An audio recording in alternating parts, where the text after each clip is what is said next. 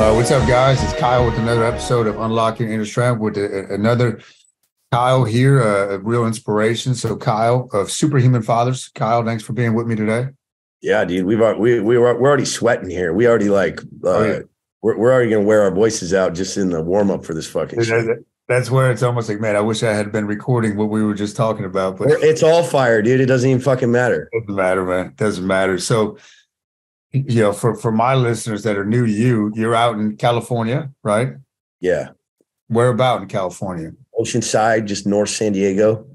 Like okay. raised there, man. Like Oceanside. Uh, Wes Watson's from Oceanside. We used to skate when we were kids.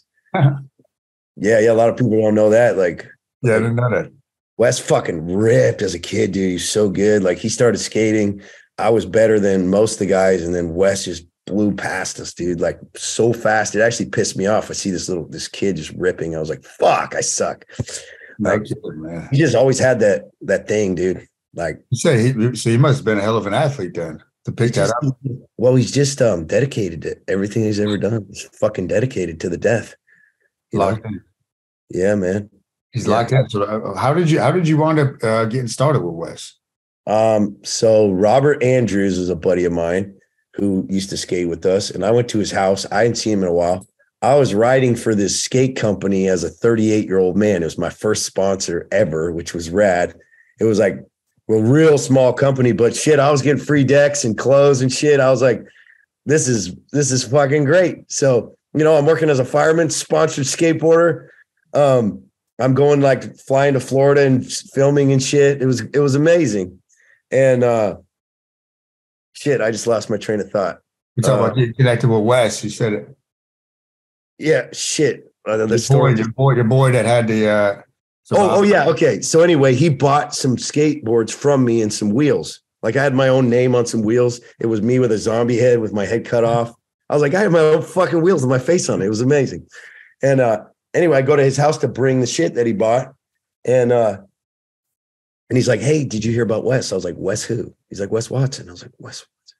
I just remember this blonde kid that we used to skate with. I go, you mean the kid that just fucking ripped all the time? Like, what, what, what do you, what, he's like, he went to prison. I go, he went to prison.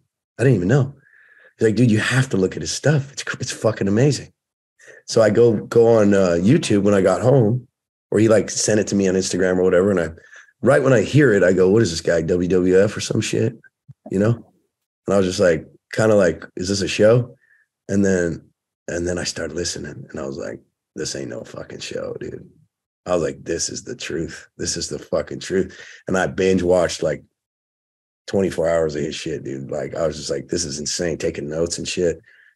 And uh, I mean, real quick, I realized I'd I'd been getting comfortable in a lot of ways in my life, like floating, you know, just just that pull of just like, man, you ain't nothing compared to what you could be. And my little baby girl was was being born uh, like a week later. So I, I was looking at Wes's stuff and following him, following him. A week later, I'm in the hospital and my wife's in labor. And I just had this like obvious feeling like you got to hit up Wes right now. And I was like, crazy. I'm in the hospital, wife's in labor. I text him, I go, Hey, I'm whatever you doing, dude, I'm in. What, what, like, what's the longest term you got? And that was the, like his, his just get ripped program, mindset program so I I got in that. You know, I was like I was in shape. I was probably you know I was lifting every day, and but I didn't have my nutrition dialed to the point where I was just like, you know, with discipline, just that next level of discipline where you really pull power from the universe. Like I knew I needed that, and that's what that's what Wes showed me was like. He's like, hey man, there is another gear here of sacrifice that will give you a thousand times what you're receiving right now. And um and and I followed that to the T that that and I just got back into that game of sacrifice. And the, the best thing I learned from Wes was that we were always looking for this break, this place where it's like, cool, lean time's over, now it's bulk season or whatever. And and yes, there is a controlled game that you play to build muscle, but there's never an off time to where you just get to relax because once you relax you, you fuck everything up. Like it all has to be planned and system systematic. Um, but as humans, we always are waiting for this time to go on vacation and just let it go and and fuck it all up again. And what happened working with Wes is I had a switch that just went never fucking stop, never take a break, never even take a rest. You don't need shit. You're gonna you're gonna grind this out till the day you fucking die. And every commitment you make where you level up, you will remain in that place. You will never go backwards. And so that puts pressure on a guy to say never again. Like, like, but and my never agains will be different than yours, and and your never agains will be different than somebody else's. And this is what I'm realizing is that like we all have these answers inside of us that tell us what we need to stop doing and what we need to start doing, and it'll be different for everybody. And and for me, I'm starting to listen to that voice. I'm just going deeper and deeper and deeper to where I'm saying a lot of I will always and I will never till the day I die. And those are scary thoughts for people, but that's where the power lies is in that statement when you truly believe it. Like if someone's trying to quit fucking smoking cigarettes or something. I will never smoke another fucking cigarette again, ever. Like that is a powerful statement that when someone's starting to quit, they don't have the balls to say it yet. They don't quite believe it. But once they can actually say that and believe that, boom, they just reached a new level, you know? That's the power, man. Yeah, that's that's fantastic. And you just mentioned, you know, starting to speak to the higher power, right? Talk about that a little bit, man. How you you why now? Why do you why like what's going on there? What's the difference now? You mean what changed? Yeah, like why why did you feel the urge now to start speaking to God and start speaking to your higher power and, and getting those downloads and those prayers? I, I want to love my people like I want to love my people to to the point where like their their change is undeniable. So like I need I need help. Like I can only go so far. Um, but I, I notice when I tap into this this idea of God buoying me up in this game and giving me the words to speak that it just 10 times my power you know so, yeah. and and I don't even care if it's true or not. That's where people are like, what if, what if it's just your own thoughts? And what if I don't care because it works? Yeah, it doesn't matter, man. It matters what you believe. I get to choose what I believe. And and what I believe serves people at a higher level. And so I choose to believe it. Yeah. Too many people choose to not believe everything and be skeptical. And um, when you reach this place where you just believe, you just believe to for the fact, mere fact that I believe I'm meant for something. I believe that I'm I have greatness in me that can serve the world. I believe if I show up, lives will change. I believe that men being in my presence will be better for it. And because I believe it, it happens. Yeah. It's amazing, man. It's I mentioned that book to you a little while ago, conversations with God, and, they go over in that God, you know, when this guy is writing to Neale Donald Walsch, is writing what God is telling him over the course of I don't know how long it was, a couple weeks. And, and God says the process of creation is, is three step process: is your thoughts, your words, and then your actions. It mm-hmm. starts with your thoughts. That's how you create anything, right? And, and without that, you could go through the actions, you could do all that stuff. But if, if you don't have the proper thoughts, and like you said, you believe it, and now you speak it, like I could feel it when you speak it, right? Those are your words, right? And then the, then the actions just follow that. So that's really, really cool, man, to see in living color, you know, that apply. Yeah, man. I mean, just if you believe that you can get uh, words directly from the source and guidance in everything in your life, like you truly believe that, you're going to have a very powerful and full life. Yeah.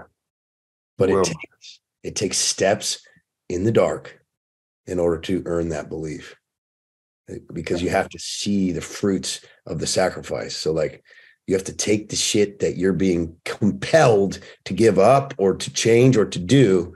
And all these excuses in your head are like, no, you don't need to do that. I mean, that's too extreme. And, uh, oh, that probably won't work. And you just say, fuck it, I'm all in take it all from me and uh and you you just put it all on the altar and then you go oh this was the power i was seeking here it is the power and connections on the other side of the sacrifice and um and and then so i found that before i started calling it God. It was universe. It was whatever. And you can call it whatever you want. I don't care what people call it. It's fine. But um, for me, it started to take shape after I started understanding like suffering and sacrifice for a great cause is so powerful to make a fulfilled and amazing life that now I'm reading like the story of Jesus and I'm like, damn, this encompasses everything that I have been teaching my men and trying to live. And it's it's too perfect. I'm just like, all right, that's my new coach. That's it, man. It's it's unbelievable. I always look at the Bible, right? And I read the Bible for the first time in full about two years ago after my grandfather passed, feeling his calling to go to it. But the, the, I always look at the, the the thing from the Bible. We're made in the image and the likeness of the Creator. Is that we all have that power? God is a part of us. Like you're like you're living, right? And it was just just it's so inspiring to see that you know inspiration in the spirit because you've tapped into that, right? And a lot of people want that, but you you mentioned Kyle going through the the dark, right? So speak a little more about that because I think a lot of people they get to the edge of the dark and then they back away. They don't even want to go into that tunnel. Yeah, yeah, yeah. This is where this is where like you're at that place where you would be willing to die for your purpose. And and and and I found my purpose is to lead men. And so how do you test yourself to know whether you'd be willing to die for your men? Well, if you'll take things away from yourself that you really, really enjoy in your life for your men, you're getting pretty damn close. So, like, a lot of my guys are trying to quit drinking, they're trying to quit smoking, they're, they're trying to quit being verbally abusive to their wife and their kids. Um, they're they're they're they're trying to quit binge eating, and so I just keep taking more and more away from myself. And it was first it was you know the wake up times and then it was the workouts and then it was hitting the macros and the nutrition and then then it was like these this thought of like man these the, you, eat like four protein bars a day just get rid of those and i'm like ah oh, fuck it. those help me so much and i'm just like all right those are gone and then then i'm sitting there on a call and i've got a, a freaking zinser in my lip on a Zoom call, and I I just felt this feeling like, dude, these Zinzers got you by the balls, dude. I'm like, I'm a fucking fireman, dude. This is how we get through the night. Like, nah, get rid of them. So fuck, throw those away. Now I'm twitching because I'm having nicotine withdrawals. And then at the same time, I hear the same poll go, bro, all get rid of all your bullshit. No, all whole foods, you're done. You're done for fucking ever. You don't, no more fucking snacks, no more cookies, cake, none of that fucking shit. Done forever. And I'm like, fuck, can I make that commitment? and I did, and I, I I I announced it, and like that's it, I'm done. And that's where the fucking idea. I started getting these visions of the warrior monk, this idea of like this powerful man that's willing to give up everything for his people, and uh, and then it just just went.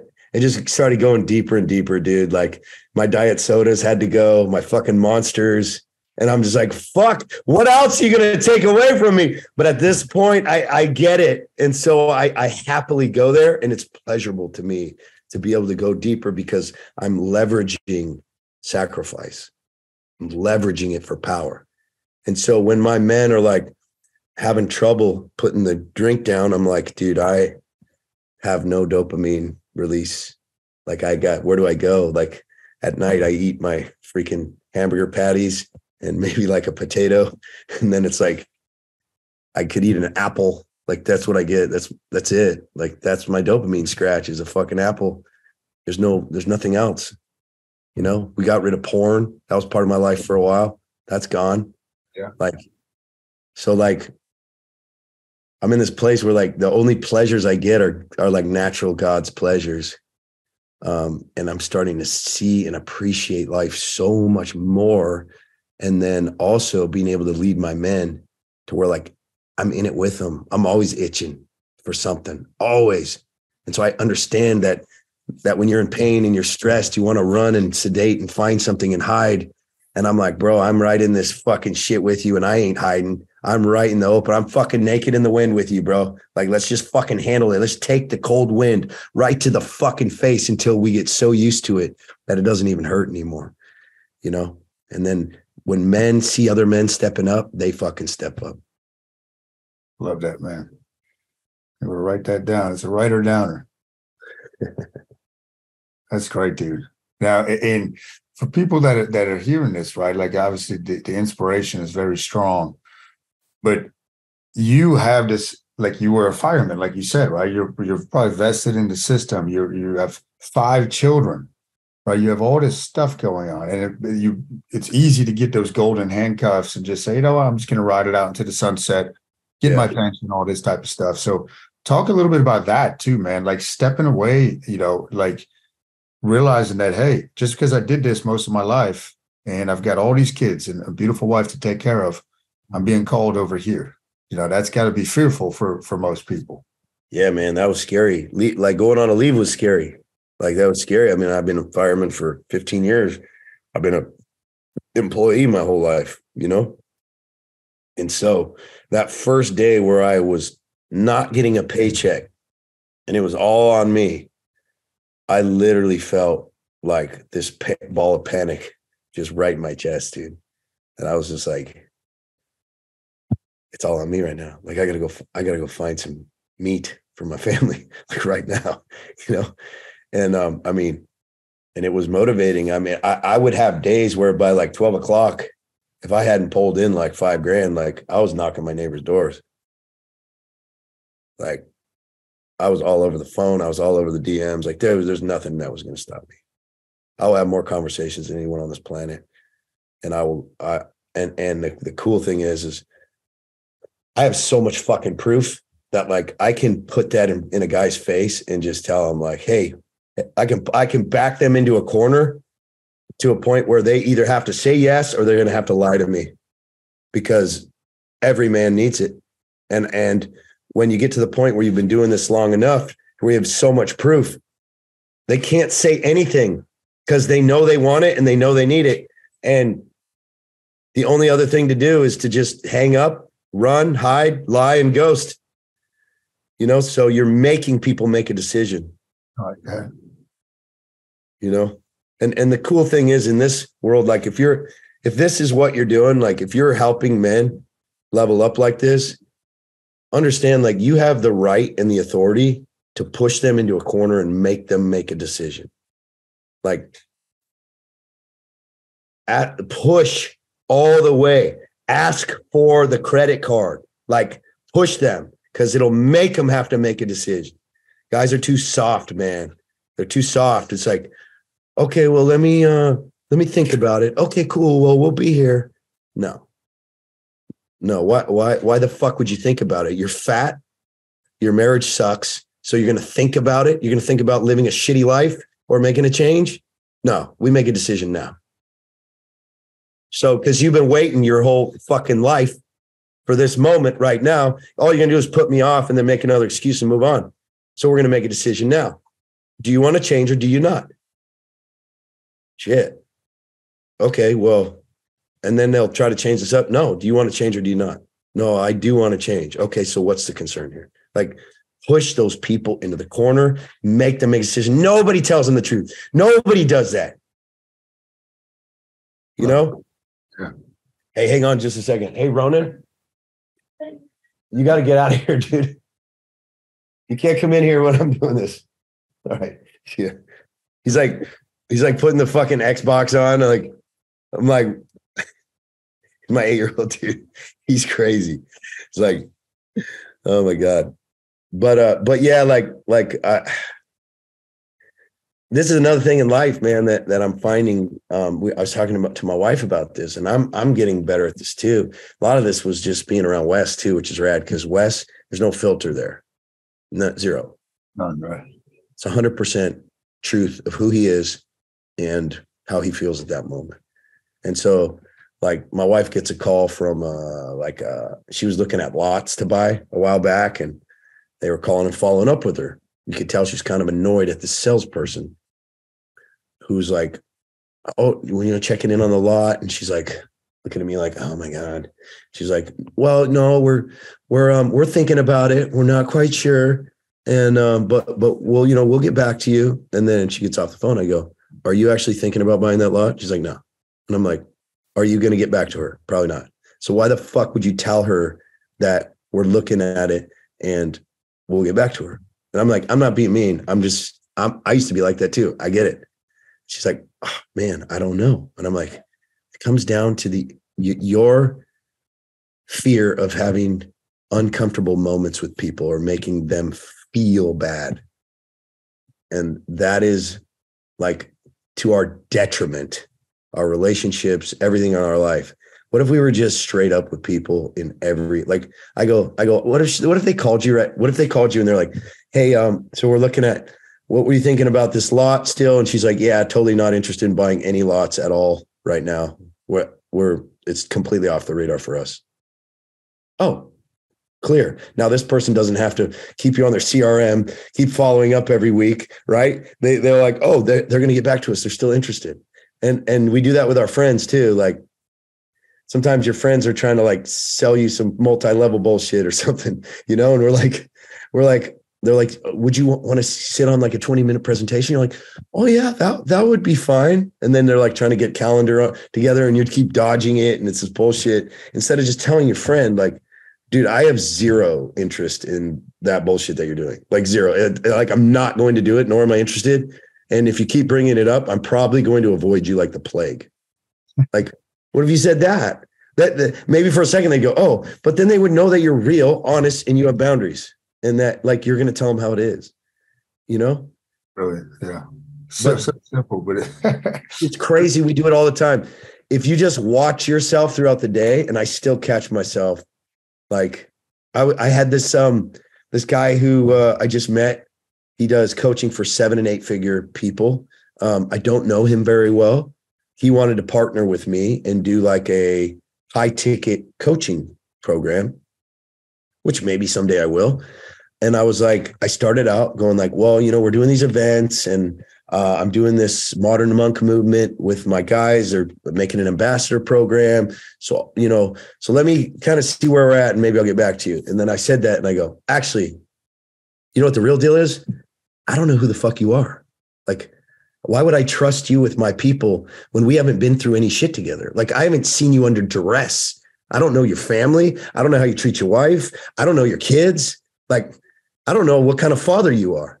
I like, are you ripped? Like, how disciplined are you with your food? Like, do you, like, where, where are you at? So, you know, so like, I just started asking these questions and he was taken back, like, oh shit. That, he's like, I guess that's fair. But part of him was kind of like, do you know who the fuck I am? You know, like, can't talk to me like this. I've been doing this forever. I'm seven and eight figure coach. Like, who are you? But I don't give a fuck. I don't need anybody. So it's like, but it was real, you know? And I, I, uh, that was one of those moments where I easily could have like jerked this dude off just, just so we could avoid a, a conflict. But in reality, that brought us closer together and made us trust each other more. Right. So if there is a future together, working together, that just got massively enhanced with that conversation. Yeah. Yeah. It's uh, so uh, opposing to what most people do right and it's always a i always that that's why Wes too right he's such a breath of fresh air man like you said no filter yeah this is what it is yeah yeah and i yeah i had i tell i tell i'll refer my guys to him it's like anybody wants to do coaching i send them all to wes which which is funny because I, I i had this day where i had like man like 50 grand worth of people hit me up and it was a, it was the day wes posted, uh, or the week Wes posted that I hit my seven figures, and uh, had all these people hitting me up for business coaching, and I was like, I'm like, this is amazing. I, I made it, and like now I'm gonna go to the next level, you know. And like, man, I had like a shit ton of dudes. I'd like, damn, so many were calling me. And so I got the credit cards, dude. I was ready to, I was open up this whole business side of Superhuman Fathers. And I go, I had this inclination. I was like, hit up Wes, hit him up. I was like, ooh, something doesn't feel right. hit up Wes. I go, bro, a bunch of guys are hitting me up business stuff, and I just collect a bunch of cards, but I don't feel right about it. He's like, bro, don't come, don't become a business coach yet, bro. Cause then your brand fucking gets burnt and now you're just business coach guy. He's like, I mean, you can do whatever the fuck you want, but like you're going to come in with the big boys and the sharks who who are doing 10, 20 million and you just hit seven figures. Like, he's like, build your brand, dude. I was like, fuck, you're right. Holy shit. I could have, I could have like superhuman fathers could have become a coach of the coaches. And it, like, that just disgusted me. Like it wasn't, uh, you know? And so I was like, all right, well, I got some referrals for you, bro. So, but, but, but I guess the point here is one, loyalty to your people, to your coaches, and like two, listening to this, to this voice of character integrity in you, which at the time sometimes doesn't make sense because you could be like, well, no, I earned this shit. You know, they want to work with me. You know, nobody can control me. Uh, uh, uh, ego, ego, ego, rather than just believing in this pull. The same pull that made me start Superhuman Fathers was the same pull that made me quit fucking nicotine, which was the same pull that had me call Wes at that moment. You see, so there's these this this guiding that can happen in your life in all these aspects and usually it'll tell you to do something that goes against your selfishness, your ego, or your addictions. Yeah. Yeah. So I was going to say when you're saying that, man, the ego that, you know, I always look at that as edging God out, man. They keep ignoring it and getting the short term pleasure. Yeah. You know, so where, where did the inspiration, uh, I love it, man, with the superhuman fathers, like where was the inspiration for that as far as, okay, this is going to be it? Yeah, I I started that. I think I started working with Wes like probably been three months, maybe two, maybe two months. Massive growth in just a couple months, and then uh, I just felt this pull to um, I guess it'd been longer than that. So it, it actually been longer. We'd probably been at like the five month mark or something. And about month three, I was like, I need to become an entrepreneur. I was like, this is dumb. Like, why, why can't I make money for my family? This is dumb. What am I doing? So I started a supplement company called Roll Fast Burn. I, I paid a coach named Ryan Moran, um, who owns capitalism.com, who builds product brands. That's that's what he does. So it was an $18,000 ticket to join capitalism, the capitalism incubator, six month program that helps you build out your entire brand. And uh, so I started doing that. And at the meantime, I felt this pull to hold myself accountable to be a better father because I was still, I was still suffering with some anger and depression and anxiety, which is always there for men, you know. And I'm like, how do I, how do I show up better for my family after being at the firehouse for four days, no sleep, scraping a kid off the ground, you know, watching some people die and then just like coming home being like, this great dad. It's like, that's fucked. So I, I started to learn how to disassociate between how I felt and how I showed up. And when I showed up right, I could come out of the darkness faster. And so I started Superhuman Fathers as an Instagram to have a group of people that we would just hold each other accountable. So I go on my stories and be like, hey, all right, I'm coming home from the firehouse. I'm not going to yell at my wife. I'm not going to be sarcastic. I'm not going to yell at my kids. And then like five minutes later, I'd be like, I make a story like I just fucked up. I just yelled at my kid. I lost my shit. Uh, I'm going to go apologize to him now. I'm working on it. Damn it. This is a rough morning. You know, so I had this like bunch of people that were kind of working on it together. And then Wes was the one who was like, dude, you have this Instagram. What the fuck are you doing, man? Like, you're you're fucking around with supplements and shit. He's like, the, the magic's right in front of you, dude. And I I didn't see myself as anything special. I didn't see myself as someone who could really coach or influence. And then Wes kind of helped me see that, dude, you're first of all, I already had a trainerized app that I was using in the firehouse for the guys at the firehouse. I already had like four or five massive, incredible transformations from guys in the firehouse. So it was like I was already doing it, but I just didn't see my own power. I didn't believe until Wes was able to point it out and like be like, bro, you are like one of the top humans I've ever met on the planet. Like he's like, he's like, Kyle, you do the most, man. Like you do the most. I'm not even fucking around. And I was like, what, what does that mean, man?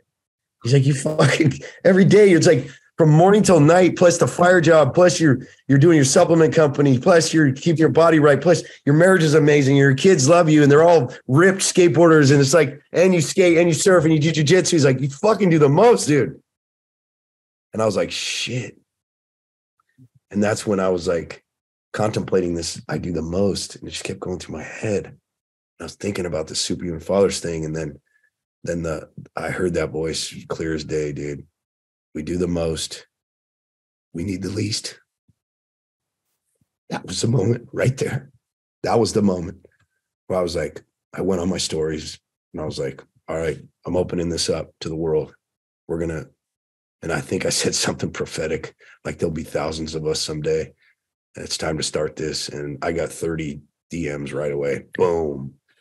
And this thing started like on fire and it's been gangbusters ever since. And two years in, we're almost 500 members and there's no stopping in sight. It's just getting faster and more powerful. It's incredible, man. You know, it, it's really incredible. You know, it, it, keep going back to that word inspiration, man. You know, and we never met, you know, first time we're talking, but I can feel it. It inspires me. And it's come, you know, I've been an entrepreneur for a long time, man, but you've created a movement right? And you're tapping into, and that gives me the inspiration. Okay, go back to that. Go back to. Yes. Yeah. Uh, yeah. Remember that, like, the core of it all is that, like, that direct connection and that fire.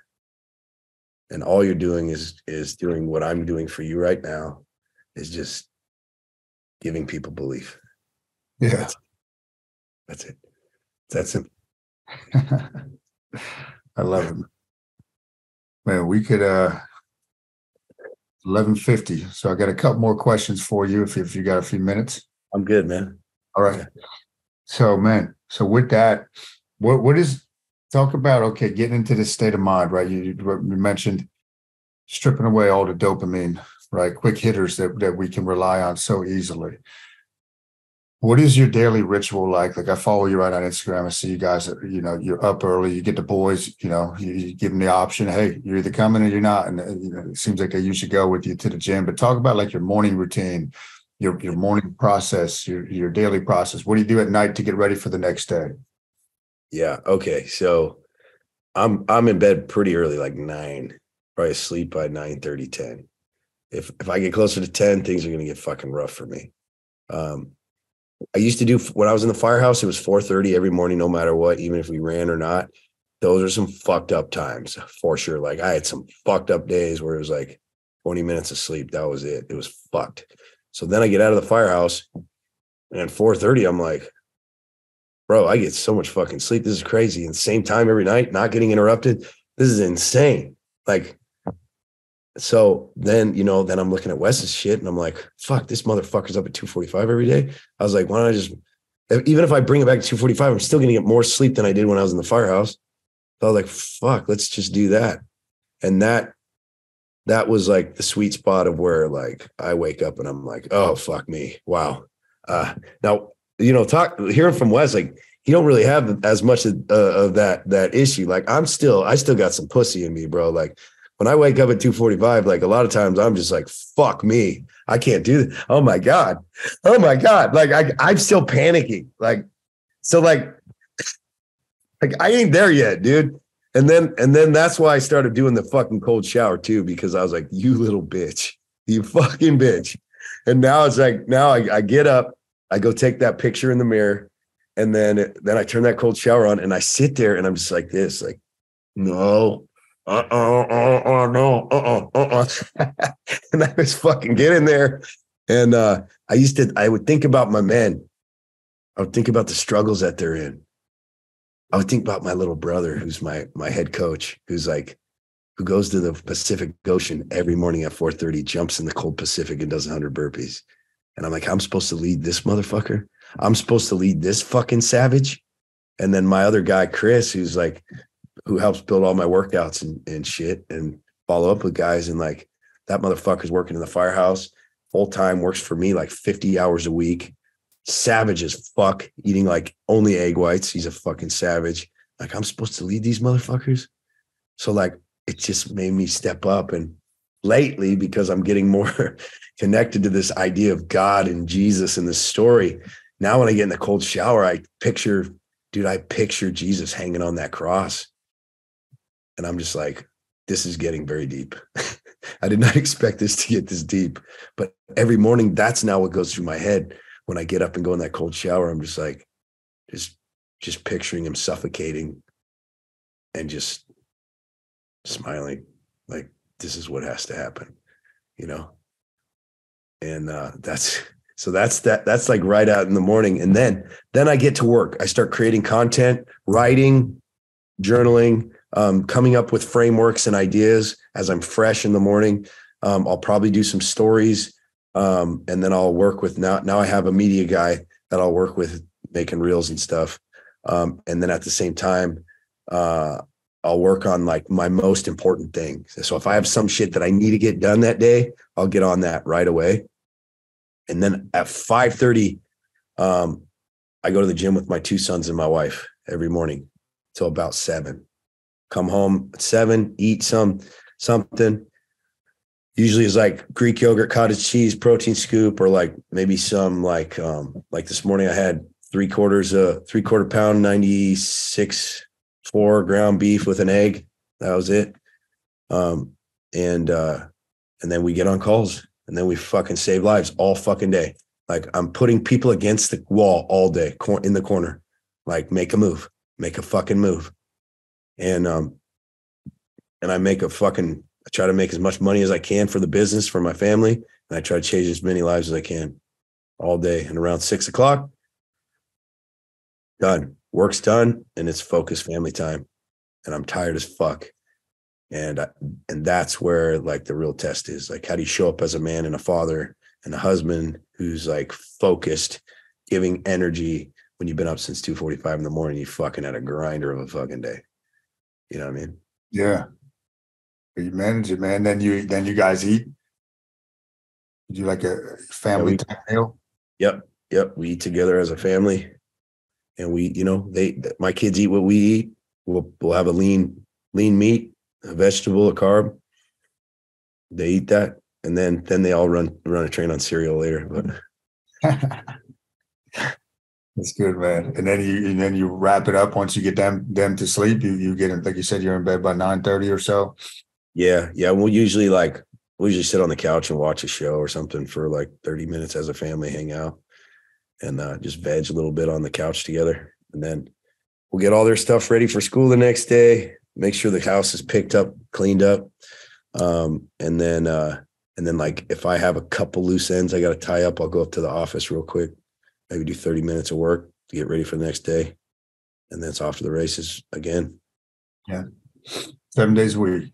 Seven days a week. Yeah, yeah. I found myself like a couple days like lately like fucking laying there till like 315 and just like fuck me dude so like it's crazy it doesn't get easier it's like shit gets harder as stress increases because like as the business grows as my kids get older as i'm having higher expectations with how i show up for my wife. Because like what used to be really good marriage i thought is absolute shit now.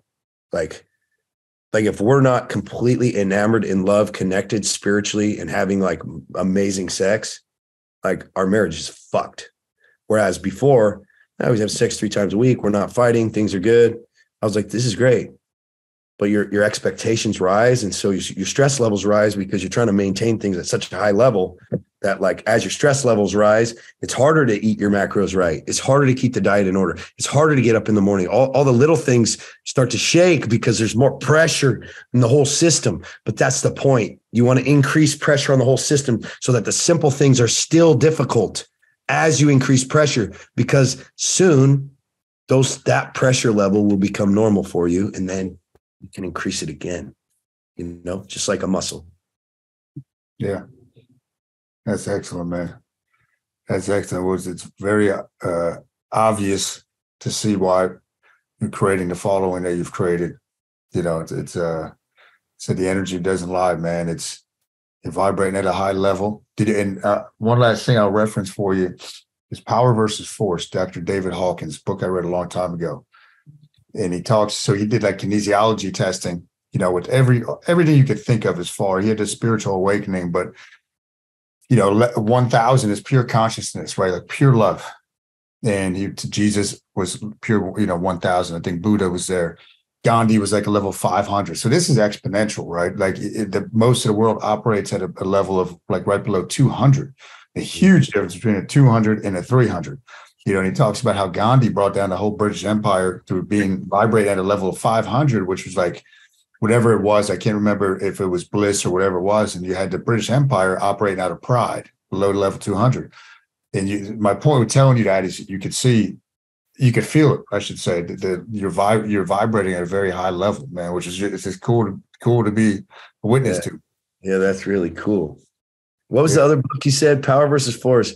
And then you told me one of those. Conversations with God. That's that's I think you'll like that, dude. This guy, you know, God comes to him. I don't know if it's in the 70s, and he just now I think he's got four in the series, but that that first book, man, it's just it's not like reading like the Bible could be very dry, right? Like I wanted to go back to this year, and it's like it can be very dry. And, this book is just like you were saying this morning. God is talking to, and he's just writing down. He's asking him all these questions.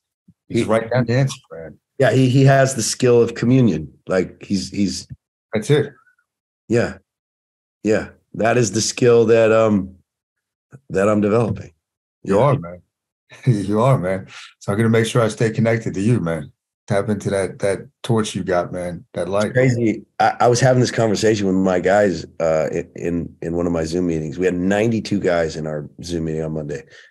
Blew me away. And we're I was talking about like just how you have the answers. You just have to connect to this powerful universe and this God to just guide you in your decisions.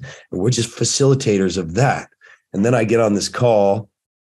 Um, I'm part of the uh, Warrior uh, Warrior Council with Garrett White with Wake Up Warrior. Um, you know, he kind of blew my mind, and I joined his mastermind. And um, his whole thing was about how he's like, I found the whole point of all of this is to bring you guys into communion to give, to give you that skill. And i was like dude I was just, this is what i've been feeling. This is what i've been teaching my guys. And then he says the same shit.